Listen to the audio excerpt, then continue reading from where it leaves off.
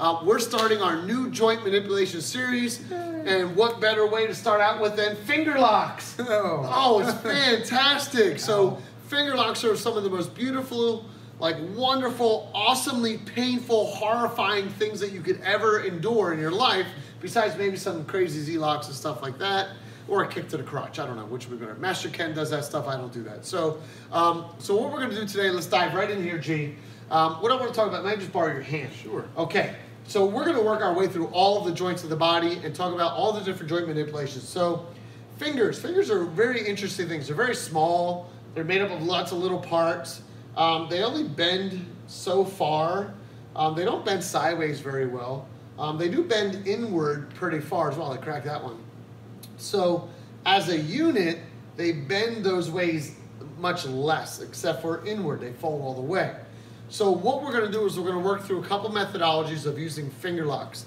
And the first one, Jay, if you would just stand facing the camera, is simply learning to grab at the knuckle line here, and we're going to turn this in. Okay. Now, I'm going to show you how we would get to this outside of this static position. But most importantly, I want my knuckle right underneath of the pointer finger to kind of enter right on that knuckle line. The thumb will hook around, the fingers will hook around. Turn this way for me. Okay? And I want you to see how I have my standard Hapkido grip. Here, my knuckle lands on the knuckle line. I'm going to grab here. Now, I'm going to show you three ways. One is I lean into him and press oh. and roll. Okay? Two is I drive it downward. Okay?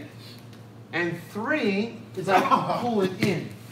Okay? All of these hurt, actually, all of these hurt really bad as long as you have the alignment correct. I probably could be a little bit off and it would still work.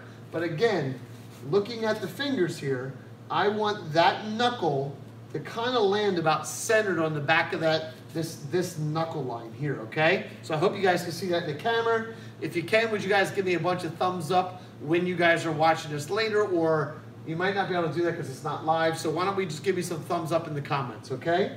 So we're gonna grab here. One is pressing in against the body.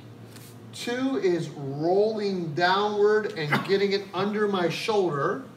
And then three is more of a directional type movement to get that hand to flex. Now these are just very, very painful skills. Now I'm gonna show you a couple little quick methods. G um, has his hands up, okay? This could be where I come in here and, and strike, loosen him up, and then I get his hand, okay?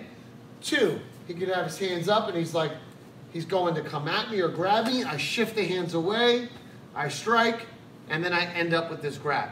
There's, there's a thousand scenarios. He goes to push me. I block off. I strike. I have it here. G tolerates a lot of stuff for me. Thank you. Okay, I'm back in my grip again.